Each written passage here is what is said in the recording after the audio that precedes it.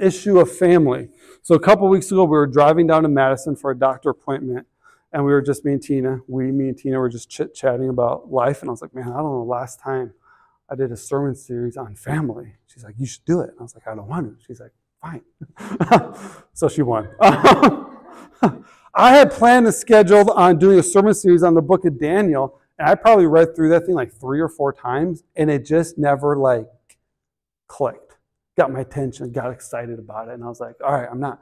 So we're going to do a sermon series on, on family. And so we're going to do big picture, small picture, 3,000 foot view, microscope stuff. Um, there'll be times where I preach in generalities. There's going to be times where I'll probably use our own personal experiences and family life and all that kind of stuff, which will be interesting. I'll do my best. No, I won't throw any of my kids directly under the bus, or I got to take them out to eat. That's the deal. So maybe I'll be taking them out to eat a lot. We'll find out. Um, and here's why, though. I honestly think the number one issue in our world for us people is what happens inside our own homes. Like the number one thing that we got to take care of is what happens inside our own home. If our own homes are dysfunctional, nothing else matters. Like that's numero uno of everything that, that we should be dealing with is what inside our own home. So we are. We're going to talk about parenting. We're going to talk about marriage. We're going to talk about how to talk about the birds and the bees and like all the things that get uncomfortable, right? Because oh like, gosh dang it. Like, right? Like all the things. Why? Because I don't know if you realize this, God talks about all the things. Jesus talks about all the things. We have lots of scripture on all of the things. But today we got to figure out why we're going to talk about this like 3,000 foot view. And honestly, what the reason why is simply this is we are guaranteed to go through crap. Like I don't really know how else to put it, right? Storms will hit you. Like life will hit you in the face some way, somehow. Something's going to happen in your life that you didn't plan on, that you didn't expect. You don't know how to handle it and you're like going, now what? There's times where we cause things in our own life, and there's times that we didn't. And if we don't have a solid foundation of who we are and why we do what we do and why we base the things that we do, things crumble really fast. And Jesus, is, Jesus promises these things. So Matthew chapter 7 is the first section of verses I'm going to talk about, and then Psalms 128 will be after that. And then you get me for the rest of it. Here's what Matthew chapter 7, verse 24 through 27 has to say. Therefore, anyone who hears these words of mine and puts them into practice is like a wise man who built his house on the rock. The rain came down, the streams, streams rose, and the winds blew and beat against the house. And yet it did not fall because it had its foundation on the rock. But anyone who hears these words of mine and does not put them into practice is like a foolish man who built his house on sand. The rain came down, the streams rose, the winds blew and beat against the house, and it fell with a great crash. Can I be completely honest with you? I've seen enough people be foolish and crash and burn. I've seen enough people be foolish and crash and burn, and they functioned in life for a long time. They were told by the guy who built their house that it was built on a rock, and it just wasn't. They've been lied to. They were told something. They believed something. So many things happened and it just it did not go well. There's a couple questions I think that we all have to ask ourselves in our life. And one of them is, you know, what is the story we want to write? But I think we also have to ask the question, what is the story we don't want to write? Because we all have stories, and we all almost can almost look at people's lives right now and go, oh, I don't want my life to be like that. I don't want my life to end up like that. I want my life to look like that, whatever the case is. What do you want your story to write? someone to tell your story, if you're going to write it all out, what do you want to actually say? And the biggest part of our stories is the things that happen inside our own homes. And we have to make sure what are we actually talking about? What are we saying? What are what are the things? You know, it's interesting because church world, church world, we get really kind of caught up in memorizing scripture. And I love memorizing scripture. I think memorizing scripture is a big deal. It should be a big deal. You should know what the Bible says. But Jesus is like, it's one thing to know it, it's another thing to live it. The Pharisees knew scripture. They like knew what it said. They didn't live it. My concern isn't just with people knowing what the Bible says. My main concern is that people actually live this thing out outside the four walls. You're in church for an hour a week. So 99.9% of your life exists outside the church. I'm way more concerned that everything happens outside the church than inside the church. Here's what it says in Psalms chapter 128 about this fear of the Lord. Look what it says. It says this How joyful are those who fear the Lord. That is not something we think of very much. Joyful and fear of the Lord, or joyful and just fear in general.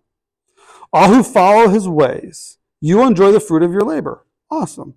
How joyful and prosperous you will be. Your wife will be like a fruitful grapevine flourishing within your home. Your children will be like vigorous young olive trees as they sit around your table. This, that is the Lord's blessing for those who fear him. May the Lord continue to bless you from Zion. May you see Jerusalem prosper as long as you live. That's the city in the area.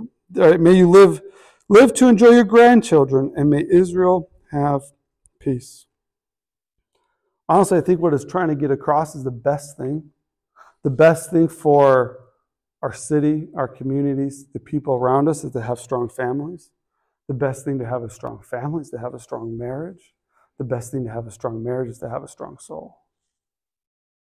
We don't have a lot of people with strong and healthy souls. We don't have enough people with strong and healthy souls. We don't have enough people with strong and healthy marriages, and we don't have enough strong and healthy families. We have a lot of people who are active, but they're not very strong. So many of our issues in our own society, I'll put, goes back to men not leading the way we should. Just look at incarceration rates. Fatherless homes. Right? It, look at I you know, anytime I say things, you want to like head your bet because there's always the exception to the rule, right? But the majority of issues that we see in schools with young people is because they come from dysfunctional homes and fathers aren't doing their jobs and not leading the way that God has called fathers to lead.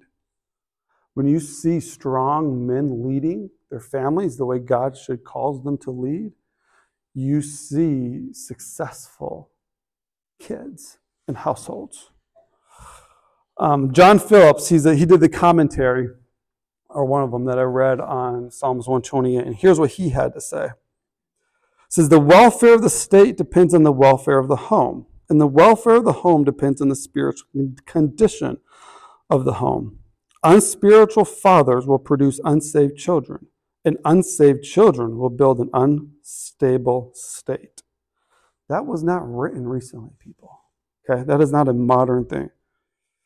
It holds true. What we see is we see people not leading the way we should, without the foundation the way we should. So, what should be the foundation? It says, Joyful are those who fear the Lord.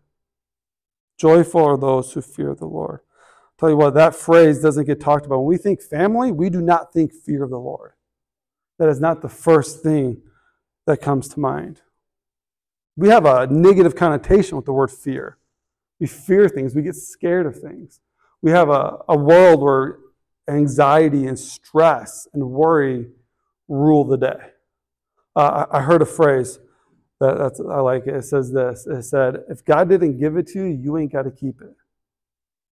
It's like, how many times do we hold on to things that God didn't give us, but we're holding on to them and keeping them anyways because it's comfortable and we like it? I like, let's just be real. So just here's a warning, okay? When, last sermon series is on the Holy Spirit, big picture teaching series. This one's family, much more personal and much more intimate, which means I have a very good chance of making you mad a lot easier. Don't run away. okay? We like our medications. We label ourselves around our issues. It's who I am. We put labels on things that becomes who we are. We like it. We like to hold on to things that God never gave us, that God didn't want for us in our lives, but we're comfortable with them because we've it's become our identity. Why are we holding on to stuff? Our past hurts, pains, relationships, so many things. We hold on to so many things. Uh, I think this there's a holy fear of God that I think we have to have that we don't have. Uh, God's like a powerful lion and as gentle as a kitten, all mixed into one. There's a, oh my gosh, what's his name? There's a couple people on Instagram that are awesome. Like, lion trainers. And there's a and he like hangs out with lions. It's insane to watch. It's crazy. But he built a relationship with these guys, and it's like, you're nuts. I'm not ever going near them. But they, they're soft like a kitten. God puts God, storms happen. God doesn't cause them, they just happen. They're guaranteed. It's a promise.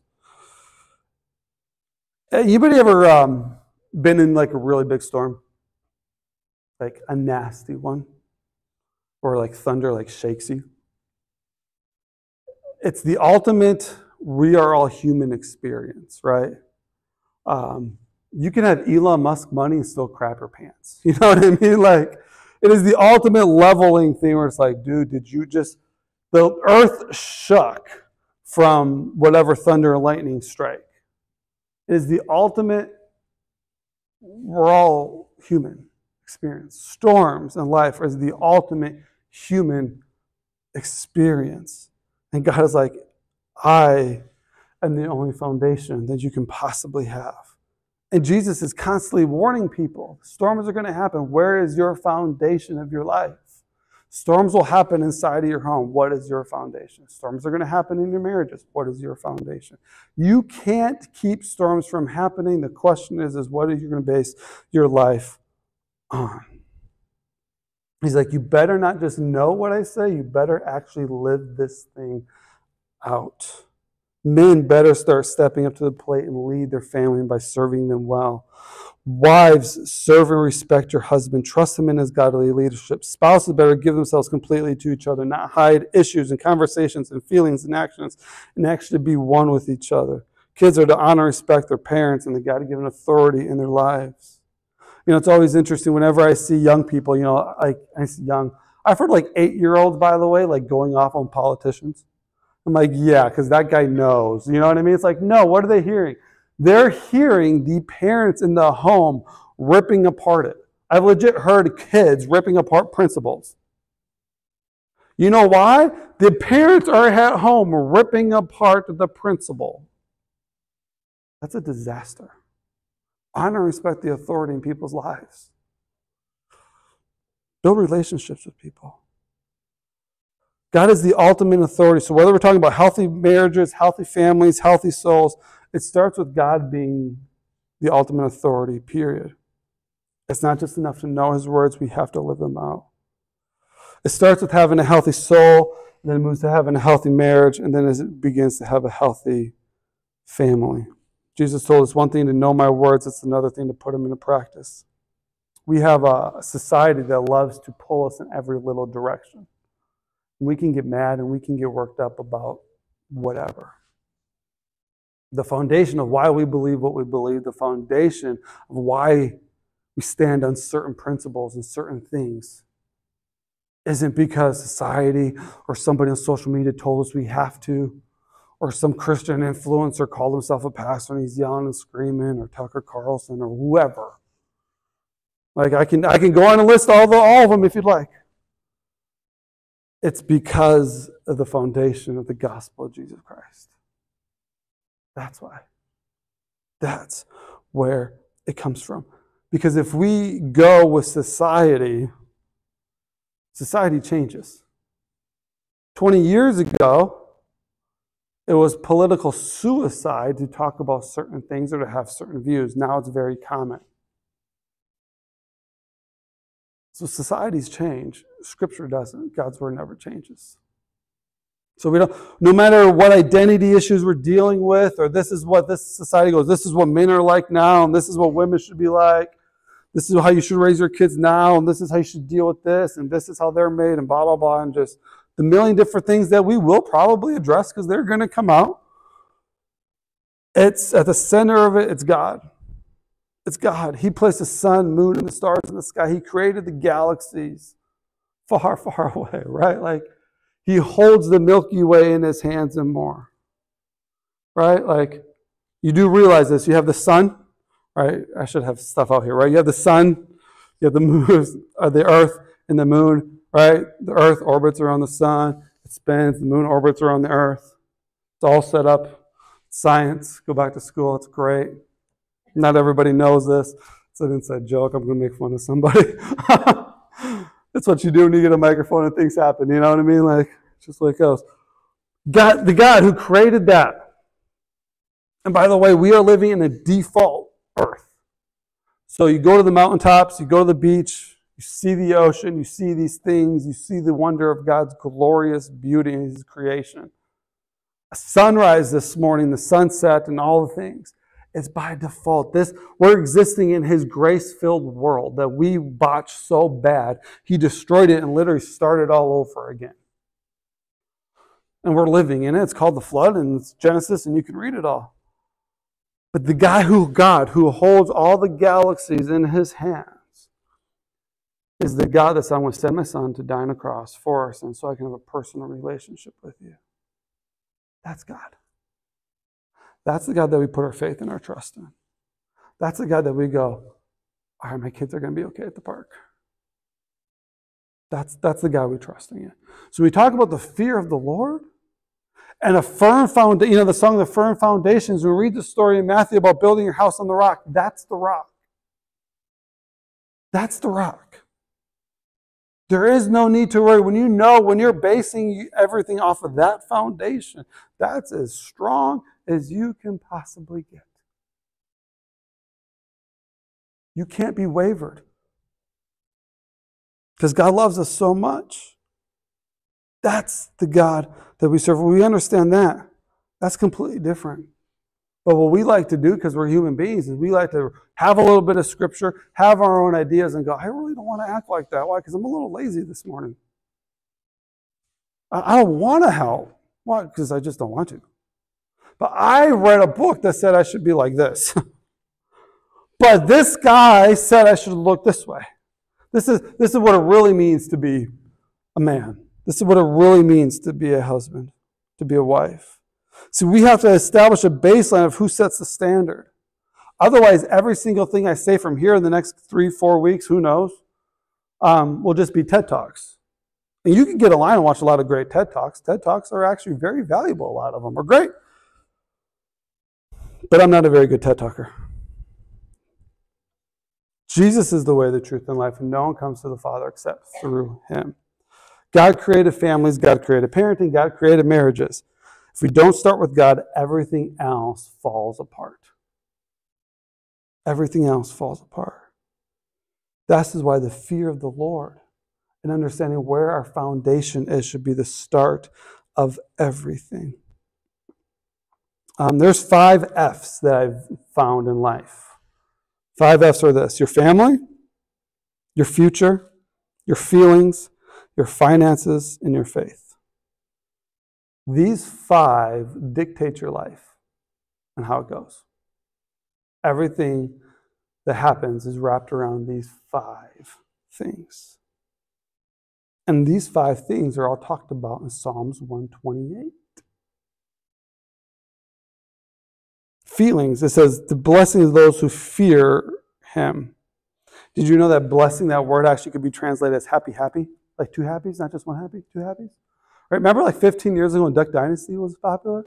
Remember that their 15 minutes of fame? Now his daughter's just trying to get 15 minutes of fame. Um, right? One of the old guys goes happy, happy, happy all the time. That's all I remember about it. I don't remember much about the show. Watched it like five times. I don't know. I didn't get. I, I'm not gonna lie, guys. I don't understand the big deal that like if you're a big Duck Dynasty fan, sorry, like I wasn't. But the old guy would just go happy, happy all the time. It's like a double happy. And then it talks about you will be like her as long as you live. All these things in that in that ver- in that chapter. Keep reading chapter 128 of Psalms. It's future tense. It's future tense, not just current, it's future. Family. We're, we're going to start to get into the nitty gritty now. Don't get mad. Um, families beyond just having kids at home. If your family starts when Johnny's born, Johnny's the center of your family. That's a dangerous place to be. Right? Our center, families, I, when I read all the Bible, and I don't read it every week, all of it, right? Some more parts of it. I'm not that good of a reader. Um, Families honestly start when two people start making decisions based off of each other, and biblically speaking, that should be when two people get married. That should be the start of family. Because that's when you start to go, what about this person? Family starts when you start seeing things from a different point of view and you start orbiting your life around somebody else outside yourself. And God says, honestly, that marriage, that's why it's a vow, it's a covenant. Marriage is a vow and covenant before God, not a commitment that you make to the government. That's a huge deal. The reason why we always struggle with marriage issues is because we now view marriage as a way we file taxes and have bank accounts and insurance stuff. It's not. It's a vow you make before God. Those are two different things. Maybe we should have two different terms. Just saying, I don't know. But what we need to do is we need to start basing things off the foundation of Scripture and off of God again. And we do that. That's family. That's family. We can't begin our family life around Johnny or Susie. And what I do is I see people basing their lives around Johnny and Susie. Is there any Johnny or Susies here? I just came up with two names. I don't want to make anybody mad. Okay. So if you have a Johnny or Susie in your life, they're going to get me fun of quite a bit. Let me know. I'll change up names. Uh-huh. Serious, I will. I don't care. Um, when we make decisions based off of Johnny or Susie, it's dangerous. Because here's what we hear, both inside the church and outside the church. This isn't a faith thing. This is a human being thing. Well, I just wanted Johnny to be happy. I just want them to be successful. I just want the best for them. I just, I, I want them to have every opportunity that they can possibly have. And I'm not saying those are actually bad phrases or bad things as parents, not at all. But those are bad foundations to live your life on. Because when a storm happens, now what? Now what? It's also why you're going to have people who are 35 years old still live in their parents' basement. why? Their life was based around Johnny or Susie and so mom and dad don't actually want Johnny or Susie to move out because their life was based off of them. And if they leave, now they don't have their life. What is their life going to be based off of anymore? Um, C.S. Lewis wrote a book, and I haven't read the whole thing. I got bits and pieces of it from some of the commentaries have, that I have. It's called Grief Observed. And I didn't know this about him. I don't know very much about C.S. Lewis. C.S. Lewis. Some people are like obsessed with the guy. He's an author. I'm just like, whatever, cool author really good with words, right? Probably really good with words. But he has this book called Grief Observed, and it was about his life. And if you don't know, C.S. Lewis didn't get married until he was in his 60s. And he was only married for a couple years. And this is what he had to say about life. And what I'm trying to get across is the point when Psalms 21, 28 is trying to get across. Then we do things God's way, life's better. Life is better for our souls. Life is better for our marriages. Life is better for our households and parenting and all together. Look at what it says. This is his quote. We feasted on love, every mode of it, solemn and merry, romantic and realistic, sometimes as dramatic as a thunderstorm, and sometimes as comfortable and unemphatic as putting on your soft slippers. No cranny of our heart or body remained unsatisfied. Holy smokes. Anyways, uh, he, it's his words, not mine. Okay, if you get uncomfortable, don't blame me. But there you go. She was my pupil and my teacher, my subject and my sovereign, my trusted comrade, friend, and shipmate my fellow soldier and my mistress, but at the same time, all that any man friend has ever been to me. When God is at the center of everything we do, everything's better. And no amount of money, no amount of success can ever get you that. It can ever get you that. Whether it's from our spouse or our kids, activities, hobbies, or more. When God's at the center, everything is better. Every, everything that comes with family, guys, there's pressure. Let's just face it. There's pressure. Pressure to have the marriage or pressure to put out what you think marriage should be like on social media so everybody knows you have a successful marriage. Pressure to get your kids in every little event they can possibly be in. Pressure. Because if you're not, if you're not, you're not giving them a chance to succeed. But but you never know. I don't know what it's like outside of sports world, but I'll tell you this: I think it's three to five percent of athletes who will play varsity sports will ever play college athletics at any level D1, D2, D3, NAIA, JUCO, all of the above. There's a whole lot. There's a whole lot. So maybe, just maybe, we better make sure that God is at the center of what we have. Because I hate to tell you, when storms hit the fan, and it will, Johnny's and Susie's basketball careers in third grade are not going to matter. You know what I mean? There's pressure. There's pressure. It's a dangerous slope. It's a dangerous slope we play if we don't base our life off of the foundation of actually living out Scripture. We can know it all day. People are like, well, I know what it says in Proverbs 31, but I ain't going to be that.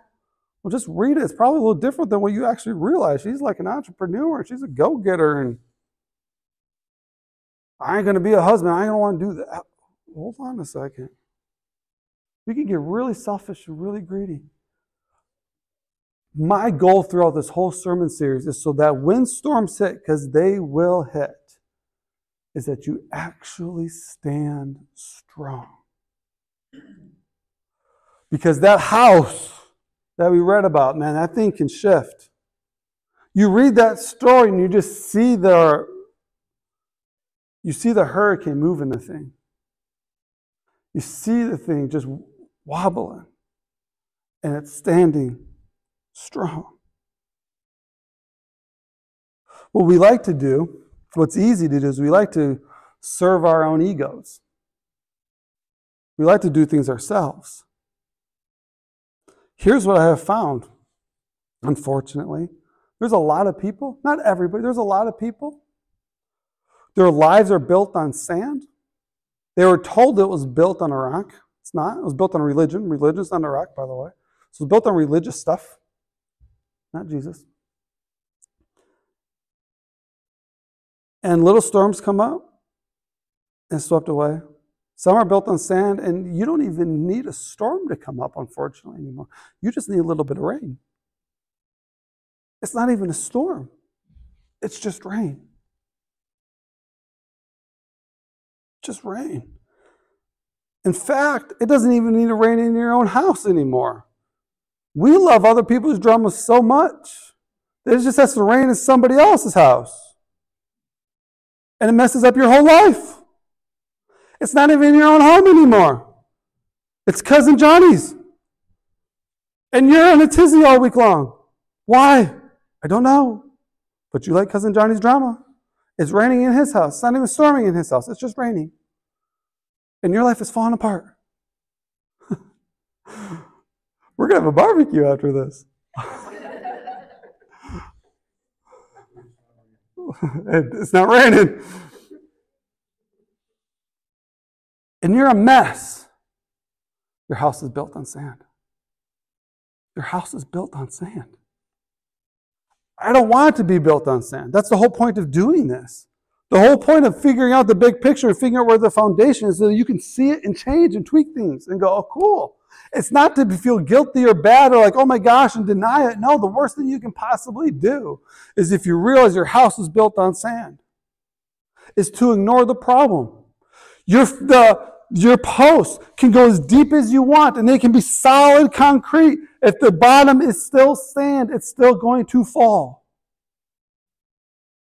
And this is what we've done in life. We've built religious systems up. They're solid concrete. We have all the words. We know all the things. The load bearing walls are standing, but it's still built on sand. And Storms are going to come, and your house is still going to crumble. There's just going to be a lot of concrete stacked on top of each other. You don't have to listen to a word I say. But if you want to stand strong in a storm, I suggest you look at your life and ask yourself, what is my life actually based off of? Because there's a lot of people, man, their life is not based on the Word of God. Their life is based on themselves and what they want. And we're all guilty, a little bit. Ready? All guilty. I just worked a 12 hour shift. I ain't coming home folding clothes. That ain't my job. I had a two year old hanging on me. Don't touch me. I'm touched out. Selfish. Both sides. Selfish. That's not how God tells us to act. I can get worse. if you want God's blessing, you got to do things God's way. You don't have to, by the way, too. You're just going to fall. You're just going to fall. See, no adult has ever gone to therapy and said, you know what, my parents just flirted too much with me, or too, too much with each other.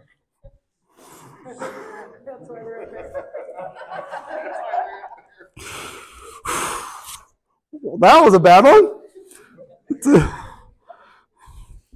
Goodbye. Nobody ever said my parents flirted too much with each other. We laughed too much together as a family. We talked through too much stuff together. My parents let us have too many conversations about what was going on in our school. We ever said that. But there's a lot of people who are in therapy right now because I talk to them. I do it. That I said my parents bought me everything I ever wanted, but they always felt really distant. I watched my parents go from liking each other to not liking each other to not standing each other. There's a lot of that kind of stuff. There's a lot of people, even in church world, especially in church world, that said, Yeah, we never had those conversations in my house. We're not allowed to have those type of conversations in my house. There's a lot of pastors that say, Don't talk about that stuff in your house. If you had a camera in our house to see the type of conversations that took place and take place in our house, you would be shocked. Because one of the things that we do in our house, guys, there is not a single thing that happens that is off limits in our house. So I know lots of people's drama because of it.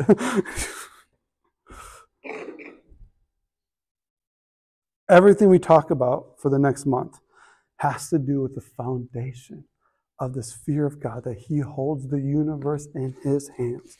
He holds the Milky Way, and however how many galaxies there are, He's holding it and we're very small in the middle of it. And he's like, I am begging you, don't just hear what I say, follow through. Then your life, your house, your family, your soul will be based on a solid rock and it won't falter. It won't.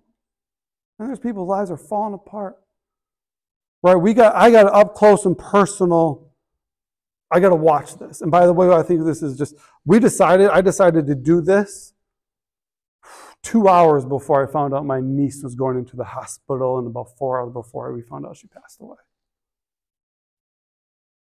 But we got an up close view of, a, of the mother of all storms. When you bury a 10 year old, that is the mother of all storms.